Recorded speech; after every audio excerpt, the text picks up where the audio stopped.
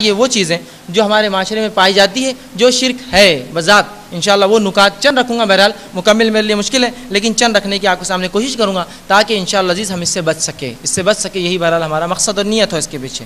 ٹھیک ہے؟ اللہ کے علاوہ کسی اور کو مدد کے لیے پکارنا، یہ شرک ہے۔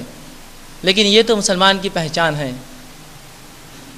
مسلمان کی پہچان ہے۔ رکشوں پر، گاڑیوں پر، میلوں ٹھیلوں پر اللہ کے علاوہ دوسروں کی پکار لگی ہوئی ہے۔ یا فلاں مدد کر، یا اللہ مدد کہنے کو شرم آتی ہے اسے اور لوگوں کی حد یہاں تک ہو گئی کہ جب کچھ لوگ کہتے ہیں اللہ سے مانگو تو کہتے تم اللہ والے ہیں، ہم فلاں والے ہیں۔ سبحان اللہ۔ کیا رسول اللہ صلی اللہ علیہ وسلم نے کبھی اللہ کے علاوہ کسی کو پکارا؟ نوح کے نام سے، یا ابراہیم کے نام سے، یا موسا اور عیسیٰ کے نام سے علیہ السلاۃ والسلام؟ کیا کبھی پکارا اللہ کے علاوہ؟ کیا کبھی تعلیم دی اللہ کے علاوہ پکارنے کی؟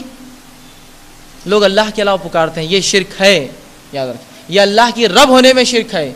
کہ اللہ رب ہے، وہ جانتا ہے تمام کے حالات۔ آپ کہتے نہیں، دوسرے بھی جانتے ہیں ہمارے حالات۔ اسی طرح جو ہیں، انگوٹھیوں کا، تاگوں اور دھاگوں کا پہننا، چاہے وہ لوہے کے ہو، یا سکے ہو، یا موتی ہو، یا سیپی ہو، یا کنکر ہو، اس کا پہننا، یا پتھر ہو، اور یہ تصور کرنا، یہ حفاظت لاتے ہیں، حفاظت کرتے ہیں۔ ہمارے کو محفوظ رکھتے ہیں یا بلاؤں کو دور کرتے ہیں، آفت اور مصیبتوں کو ٹالتے ہیں، یہ بھی شرک ہے، یہ شرک اکبر ہے، پورے بڑے شرک ہے لیکن آج اس کے بغیر تو مسلمان کی پہچان نہیں، ہے مسلمان کی پہچان کیسے ہوتی ہے کہ عام مسلمان کیسے پہچانا جاتا ہے؟ ایک ٹوپی جو پیچھے کی طرف ہو، ایک بنین، ایک لنگی ہو اور اتنا بڑا گلے میں کچھ بندھا ہوا ہو۔ یہ ایک مسلمان کی پہچان ہے، دیکھ لیجیے۔ اسی سے لوگ پہچانتے ہیں۔ بہت سی بار لوگ کہتے ہیں، آپ مسلمان ہیں ہاں؟ تعویذ نہیں آپ کے پاس گلے میں۔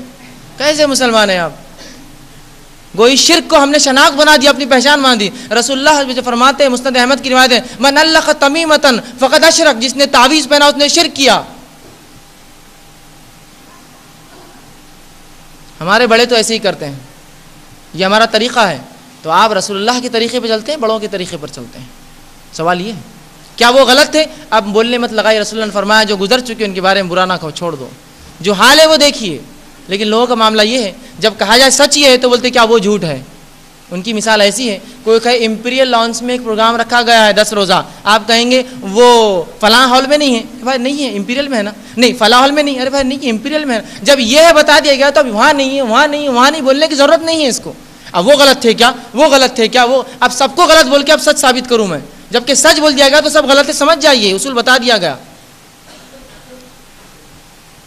لیکن آج تاگے دھاگے سیپی موتی کنکر ان کی کیا بسات اور کیا اوقات؟ ارے یہ تو تاگے دھاگے پھر بھی سمجھ میں آتا ہے۔ سبزیاں، نیمو،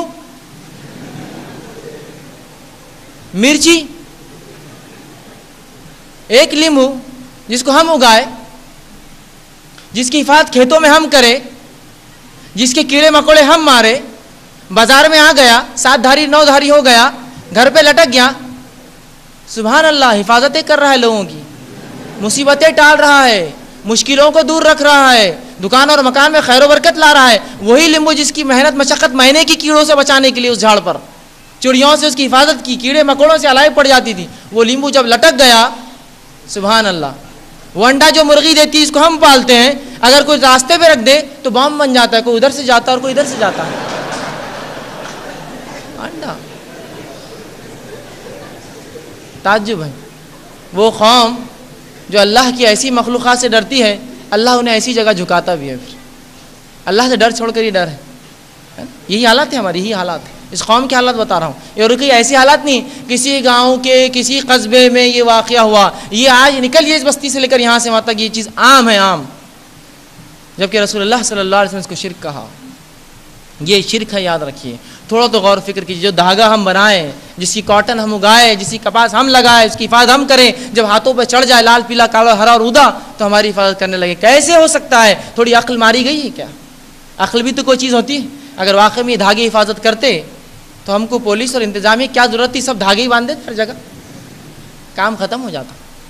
اسی طرح یہ ایک شرک، اسی طرح تیسری چیز، کسی چیز کا لکھ کر لٹکانا جائے لٹکایا جانا، چاہے وہ قرآن آیتی کیوں نہ ہو۔ پھر میں دہرا رہا ہوں۔ کسی چیز کا لکھ کر لٹکایا جانا، چاہے وہ قرآن آیتی کیوں نہ ہو، اس نیت سے کہ یہ ہماری حفاظت کریں گی یہ بھی شرک ہے۔ آپ کہیں قرآن میں تو حکم دیا گیا، قرآن کو پڑھ کر اللہ سے مدد طلب کرنا ہے، قرآن سے مدد طلب کرنا بھی شرک ہے۔ سمجھ آپ دونوں کا فرق؟ قرآن سے مدد طلب کرنا، قرآن ہماری مدد کرے گا، قرآن حفاظت کرے گا۔ یہ بھی بہرحال غلط ہے۔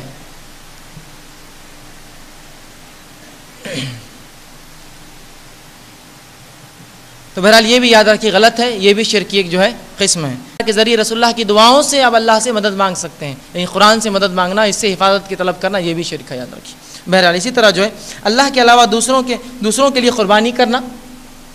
اب ہم کہتے ہیں قربانی، ہم کہاں کرتے ہیں اللہ کے علاوہ؟ قربانی تو اللہ کے لیے کرتے ہیں، لیکن کس کے نام سے ہوتا ہے؟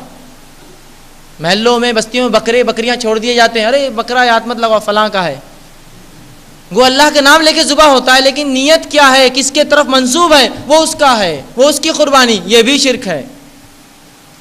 تو ایسے جانوروں کی قربانی کرنا، چاہے وہ زندہ ہو یا مردہ انسان ہو، جس کی نیت سے یا نام سے کرنا، یاد رکھیے، یہ بھی شرک ہے۔ اور یہ شرک اکبر میں سے ایک قسم ہے۔ بڑا شرک ہے، یاد رکھیے۔ ٹھیک ہے اسی طرح جو ہے، اللہ کے علاوہ کسی اور کی قسم کھانا۔ رسول اللہ صلی اللہ علیہ وسلم فرمایا، من خلف بغیر اللہ فقد اشرک جس نے اللہ کے علاوہ کسی قسم کھائی، اس نے شرک کیا۔ تو اللہ کے علاوہ کسی کی قسم کھانا یہ بھی شرک ہے، یہ بھی شرک ہے۔ پانچ منٹ یہ بھی شرک ہے۔ اسی طرح جو ہے، اللہ کے علاوہ کسی اور سے پناہ مانگنا یا ان سے دعائیں کرنا، یہ بھی شرک ہے۔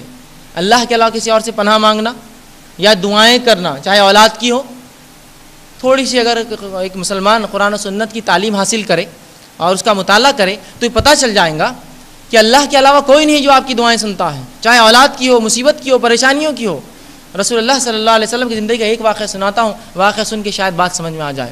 رسول اللہ صلی اللہ علیہ وسلم کو جو لڑکے ہوئے، تین لڑکے آپ کو ہوئے۔ تینوں کا انتقال ہوا، ایک کے بعد ایک دیگر۔ قاسم کا انتقال ہوا، رضی اللہ ابراہیم کا انتقال ہوا، رضی اللہ اور عبداللہ کا انتقال، ابراہیم اور عبداللہ کا انتقال ہوا، رضی اللہ یہ تین آپ کو لڑکے ہوئے، تینوں کا انتقال ہوا۔ ابراہیم کے انتقال کا واقعہ آتا ہے، یہ ڈھائی سال کی عمر پائی انہوں نے۔ رسول اللہ صلی اللہ علیہ وسلم کے تعلق سے آتا حدیث کے اندر مسلم کی روایت ہے کہ رسول اللہ صلی اللہ علیہ وسلم جب ابراہیم کی موت کا وقت تھا جب انتقال ہوا تو رسول اللہ مسجد نبوی کے صحن میں تھے اور ابراہیم رسول اللہ کے ہاتھ میں تھا۔ اور رسول اللہ صلی اللہ علیہ وسلم کبھی آسمان کو دیکھتے اور کبھی ابراہیم کو دیکھتے جو کہ ہچکیاں لے رہا تھا۔ کبھی آسمان کو دیکھتے اور کبھی جو ہچکیاں لیتے ابراہیم کو دیکھتے، وہ اپنے رب سے التجا کرتے ہیں، میرے رب، یہ آخری اولاد ہے، لوگ کیا کہیں گے؟ اسی کے بعد تو آپ پر الزام لگا ابتر کا تو دم کٹا رہا، تیری اولاد نہیں کوئی، تیرا لڑکا نہیں کوئی۔ تو گو رب سے التجا کر رہے کہ یہ میری اولاد ہے آخری۔ اوپر دیکھتے ہیں آسمان کبھی ابراہیم کو، اور اسی کیفیت میں ابراہیم رسول اللہ کی گود میں دم توڑتا ہے۔ وہ نبی جو اپنے بیٹے کو زندگی نہ دے سکے، اس کے امتیوں کو لوگ یہ سمجھتے وہ زندگی دے اور اللہ دے۔ کیسا عقیدہ ہے، بدترین اور گھٹیا۔ وہ نبی جو اپنے لیے اولاد، لڑکا پیدا نہ کر سکے، اپنے رب سے التجا گزارش کرے، اپنی اولاد کی جان نہ بچا سکے۔ اس کے امتیوں سے یہ تصور کی اس کے امت کے کچھ لوگ، ان سے دعا مانگنے سے اولادیں ملتی ہے اس سے گھٹیا عقیدہ نہیں ہو سکتا کسی قوم کا۔ وہ رب ہے جو اولاد دیتا ہے۔ جس کو چاہے دیتا ہے، جس کو چاہے نہیں دیتا ہے۔ جس کو چاہے لڑکے دیتا ہے، جس کو چاہے لڑکیاں دیتا ہے، جس کو چاہے دونوں دیتا ہے، جس کو چاہے نہیں دیتا ہے، اس کی مرضی ہے۔ اس کی مرضی۔ مالک ہے، مالک کی مرضی ہو جو چاہے کرے اپنی مخلوق کے ساتھ۔ بہرحال، تو یہ تصور رکھنا، دعائیں کرنا کسی اللہ کے علاوہ یہ بھی شرک ہے۔ اسی طرح جو ہے، خبروں پر جانا اور ان سے دعائیں مانگنا۔ یا ان کے ذریعے دعائیں مانگنا، دونوں ہی ایک ہے۔ مشکین مکہ کا یہی عقیدہ تھا کہ بتوں کے ذریعے اللہ تک ہم پہنچ سکتے ہیں۔ ہمارا بھی عقیدہ ہم ان سے نہیں مانگتے، ان کے ذریعے اللہ تک پہنچتے ہیں۔ سوال یہ ہے کہ رسول اللہ صلی اللہ علیہ وسلم کی تعلیمات میں اور صحابہ کی زندگی کا کوئی ایک عمل تو مجھے بتائیے جہاں انہوں نے یہ کام کیا کہ کسی کے ذریعے مانگا، زندہ یا مردہ، یا خبروں پر جا کر، یا ابراہیم علیہ السلام کی خبر پہ کبھی گئے، یا جو ہے کسی اور نبی کے، یا جو ہے شہدا اور سالین کی خبروں پہ جا کر مانگا؟ مجھے بتائیے ایک واقعہ۔ میں محتاج ہوں ایک صحیح واقعے کے۔ اور ساری امت جو ہے اس میں لگی ہوئی آج۔ یہ شرک عام ہو چکا ہے۔ کہ اللہ کے علاوہ دوسرے بھی دیتے ہیں۔ اور جب کوئی کہے تو بہت برا لگتا ہے۔ یہ کریں گے، وہ کریں گے۔ سوال یہ ہے، اللہ کی کتاب، اس کے رسول، اللہ کی کوئی دلیل تو لاؤ۔ اصل یہ ہے ہمارے لیے بنیاد۔ اگر اس میں نہیں ہے تو وہ دین نہیں ہو سکتا۔ چاہے دنیا کی پوری امتیں کرنے لگے یا پوری قوم کرنے لگے، وہ غلط ہے۔ اور اسلام یاد رکھیے کہ ایسی چیز، ایسی شریعت ہے جو یا تو باقی رہیں گی یا تو ٹوٹ جائیں گی۔ یہ کانچ کی سلاخ ہے۔ یا تو عمل ہوا، حکم رہا یا حکم ٹوٹا، یہ نہیں کہ ابر کیسا گیٹ پہ مار کے سیدھا کر دیا، یہ سیدھا ہے۔ تو شرک ہوا، یہ توحید پر ہے۔ اب دونوں میں سے کوئی چیز۔ مشرق رہ کر بھی توحید پرست، توحید رہتے ہوئے مشرق یہ نہیں ہو سکتا ہے۔ کوئی ایک چیز کیجیے آپ۔ یا تو توحید پر اڑ جائیے اگر توحید پرست ہے، یا شرک پر چلا جائیے کھلے عام۔ تو یہ بھی ایک شرک ہے اور یہ سمجھنا کہ کچھ دیتے ہیں، یہ بھی ایک شرک ہے۔ اسی طرح جو ہے، جادو کا کرنا۔ اس کا سیکھنا، سکھانا، یہ تمام چیزیں کفر ہے اور انسان کو شرک کراتی ہے اسی کے ذریعے۔ بہرحال ایک عنوان میرا آئیں گا، اس میں تفصیلات انشاءاللہ میں اس کی دوں گا۔ انتیس رمضان کو میں سمجھتا ہوں عنوان میرا ہے۔ انتیس کی شب کو بہرحال۔ اسی طرح جو ہے، جو خواہشات پر چلنا، شریعت اور اسلام کو چھوڑ کر اپنی خواہشات پر چلنا، اس کو بھی اللہ نے کہا کہ کیا تو نے ایسے ایک شخص کو دیکھا ہے نبی جس نے اپنی خواہشات کو رب بنا لیا ہے؟ تو خواہشات پر چلنا یہ بھی شرک ہے، یاد رکھیے۔ ہم شریعت کے تابع اسی لیے مسلمان ہیں۔ تو ہمارا کام ہے کہ ہم مکمل طور سے اسلام کی تابے داری کریں اور اسی پر چلے اسی طرح جو ہے، اللہ کے علاوہ کسی اور سے دعائیں مانگنا اور وہ عمل جو خالص اللہ کے لیے کسی اور کے ساتھ کرنا، یہ بھی شرک ہے۔ یہ بھی شرک ہے۔ اسی طرح جو ہے، لوگوں کو دیکھنے دیکھنے کے لیے، دکھانے کے لیے کام کرنا ریا کار نہیں کرنا، یہ بھی شرک ہے۔ رسول اللہ فرماتا ہے من صلی یورائی فقد اشرک جس نے دکھاوے کی نماز پڑھی اس نے شرک کیا۔ وہ من سام یورائی فقد اشرک جس نے دکھاوے کے لیے روزہ رکھا شرک کیا۔ وہ من تصدق یورائی فقد اشرک جس نے دکھاوے کو صدقہ دیا، اس نے شرک کیا۔ آج شرک کا کیا معاملہ ہے اس قسم کے؟ کیا معاملہ ہے آج؟ کہ لوگ روپیہ بھی دیتے ہیں تو چاہتے ہیں کہ وہ اخبار میں آئے۔ لوگ جانے میں نے کیا یہ کام۔ اللہ کے لیے قربانی بھی ہو رہی ہے تو جانور کے ساتھ وہ کھڑا ہے۔ اب جانور کی عزت اس سے ہو رہی ہے، اس کی عزت جانور سے مجھے نہیں پتا۔ یہ حالات ہیں ہمارے۔ دکھاوے کے معاملے میں ریا۔ اور ریا وہ شرک رسول اللہ ریا شرک ہے۔ ٹھیک، یہ بھی ایک قسم ہے۔ اس سے ہم دیکھتے ہیں اکثر لوگ ملوث اس میں۔ اسی طرح جو ہے، چیزوں پر سلیب کا نشان بنانا یا ٹیکے لگانا، اس نیت سے کہ اس کی حفاظت کریں گی، یہ بھی شرک ہے۔ آج یہ شرک کتنا عام ہے۔ ہر پیدا ہونے والا بچہ پیدا ہوتی ہے اس کے ہاتھ میں کیا ڈال دیے گا؟ دو کالے گوٹ۔ یہ کیوں؟ نہیں، وہ بچہ بہت خوبصورت ہے نا۔ اس لیے۔ اس لیے۔ اسی طرح جو ہے، نظر نہ لگے ایک ٹیکا۔ سوال ہی ہے، وہ کاجل جس کو ہم بھاپ دے کے نکالے، کبھی غلط بھاپ سے نکلا ہوا اور بنا ہوا اور اصلی تیل یا گھی کا نہ ہو تو آنکھیں خراب کر دے۔ وہ کاجل اگر سر پہ لگ جائے تو حفاظت کرنے لگا۔ سلیب کا نشان، سلیب جو عیسائیوں کا نشان ہے سینے پر بناتا ہوں سب اپنے بچے کے۔ پلس ہاں نظر نہ لگے پیارے کو میرے۔ اندازہ لگائیے، وہ لڑکا تو بہرحال بڑا ہو کر جو بنے گا، اگر وہ ماں اور باپ اس عقیدے پہ مر گئے، تو وہ تو جہنم میں جائیں گے سیدھا۔ سلیب کا نشان بچوں کے سینوں پر بناتے ہو اور پیروں پر لگاتے ہو اور یہ ٹیکوں کو سمجھتے ہوئے تمہاری حفاظت کریں گے، اور جھاڑوؤں سے نظر اتارتے ہوئے کیا یہ جھاڑو حفاظت کریں گے آپ کی؟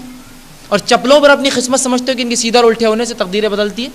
افسوس اس امت کے لیے، جو امت دنیا کو توحید کا پیغام سنانی آئی تھی، وہ امت خود بدترین شرک میں آج ملوث ہے۔ کیا یہ حفاظت کریں گے؟ تاگے دھاگے سیپی اور یہ ٹیکے اور سلیب کے نشان اور من کے اور موتیاں ڈال دیتے ہیں بچوں گلے میں یہ بھی یاد رکھے شرکی قسم ہے۔ اسی طرح جو ہے، گھروں پر کسی چیز کا لٹکانا، چاہے وہ لیمبو بلاویں یا اس قسم کی چیزیں ہو اس نیت سے کہ حفاظت کرے، یہ بھی شرک ہے۔ یہ بھی شرک ہے۔ چھوٹی سی چیز ہے۔ سکے ٹھوکتے ہیں، گھوڑوں گھوڑوں کی نال ٹھوکتے ہیں، تعویذات لگاتے، پتھر باندھتے اور کیا کیا نہیں کر رہے۔ ہیں یہ سب تمام شرک کی اقسام ہے یاد رکھیے۔ یہ عقیدے کو بود اور بیگار کر دیتا ہے یہ آپ کے اللہ سے توبہ کو ختم کر دیتا ہے رسول اللہ فرماتے ہیں، اللہ انسان کو معاف کرتا رہتا ہے۔ جب تک کہ انسان اللہ اور اپنے بیچ میں آڑا نہ لائے، صحابہ نے کہ اللہ کے رسول آڑ کیا ہے؟ کہا، شرک۔ شرک آڑ ہے، اگر تم شرک کرو تو اللہ توبہ بند کر دیتا ہے وہاں کرنا۔ تو شرک سے توبہ قبول نہیں ہوتی۔ اور ایک روایت فرمایا تبرانی کی روایتیں بدت سے جو انسان کے اعمال جو ہے، توبہ قبول نہیں ہوتی اور شرک سے اس کے اعمال قبول نہیں ہوتے۔ تو توبہ بھی بند، اعمال بھی ختم ہو جاتے، برباد ہو جاتے۔ اسی طرح جو ہے، اللہ کے اللہ کی شریعت کے علاوہ کسی اور دنیاوی قانون پر ایسا اعتماد رکھنا، جیسے اللہ کی شریعت پہ قانون میں اعتماد رکھنے کا حق ہے، یہ بھی شرک ہے۔ اور اسی طرح جو ہے، سورج یا چاند کے آنے جانے سے اور زمین کے گردش کے اعتبار سے یا کسی ستارے، کسی بروج میں داخل ہونے سے اگر وہ شخص یہ سمجھے کہ واقعی میں اس سے کچھ فرق آتا ہے، تقدیر پر، نکاحوں پر، اولاد پر، تو یہ بھی شرک ہے۔ کیسی عجیب بات ہے، یہ امت آج اس میں ملوث ہے۔ یہ شرک تو ابراہیم علیہ السلام کی قوم کا شرک تھا کہ سورج کے آنے جانے سے فلاں فلاں سمجھتی۔ آج مسلمان وہ شرک کر رہا ہے۔ مسلمان وہ شرک کر رہا ہے۔ اور یہ کوئی بہت دور کی بات نہیں، گھر میں نکاح ہے۔ تو نکاح کب کیا جائے؟ تو جنتری لائی جائے۔ جنتری لائی جاتی ہے۔ قمر ہے یا اقرب ہے؟ چاند ہے یا اسکارپین بولتے اقرب۔ بچھو جو ہوتا ہے ایک نشان ہوتا ہے۔ کہیں وہ تو نہیں ہے۔ اس دن شادی کرنے سے شادی ٹوٹ جاتی ہے، طلاق ہو جاتی ہے، فلاں ہو جاتی ہے۔ یہ میل نہیں ہوتا، وہ میل نہیں ہوتا ہے۔ کہاں سے لائی یہ سب باتیں؟ یہ کفاروں کے طریقے، ایمان والوں کے طریقے نہیں یاد رکھیے۔ تو یہ سمجھنا سورج اور چاند کے آنے جانے سے گردشوں سے کچھ تقدیر پر یا معاملات پر، یا حالات پر فرق ہوتا ہے، یہ بھی یاد رکھیے، شرکی قسم ہے۔ اسی طرح رسول فرماتے ہیں، بد شگونی شرک ہے، بد شگونی۔ فلاں کام کرنے سے اب مت کرو، اس لیے کہ فلاں ہو جائیں گا، یہ بھی شرک ہے۔ رسول اللہ جس نے کسی بدشگونی کی وجہ سے کوئی کام نہیں کیا، اس نے بھی شرک کیا۔ اور بدشگونی نکالنا ہم دیکھتے ہیں، آج کے معاشرے میں عام چیز ہے۔